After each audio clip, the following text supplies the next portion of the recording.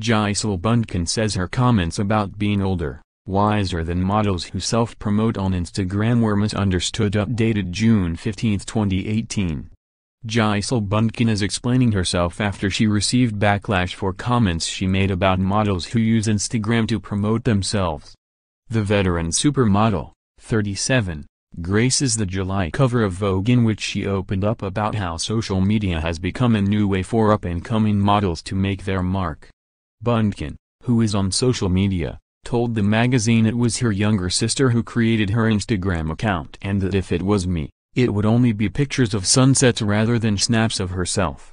It's not my generation, I have to be honest about that, she said. I am older, wiser. If I had to promote myself in the way girls modeling now have to do it, forget it. I wouldn't do it.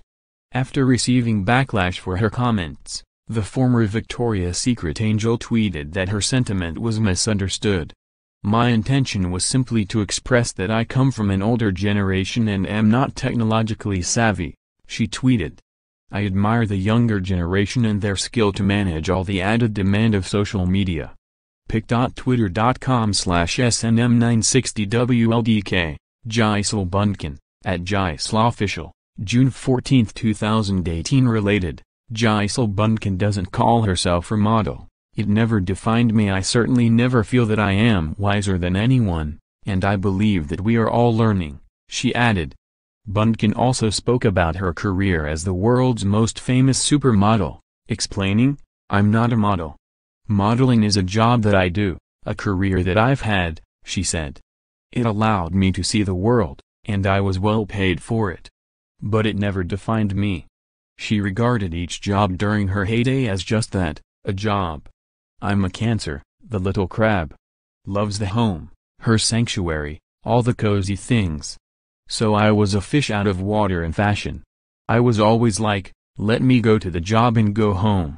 Related, Gisele Bündchen's daughter adorably crashes Vogue interview to give her mother a big hug Bündchen explained how she instills positive practices in her home through recycling and gardening with her kids, focusing more on real life and less on her digital presence.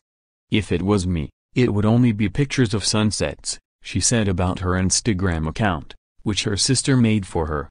It's not my generation, I have to be honest about that. I am older, wiser. If I had to promote myself in the way girls modeling now have to do, forget it. I wouldn't do it. Vogue's July 2018 issue is available on newsstands in NYC and LA on June 15, and nationwide on June 26.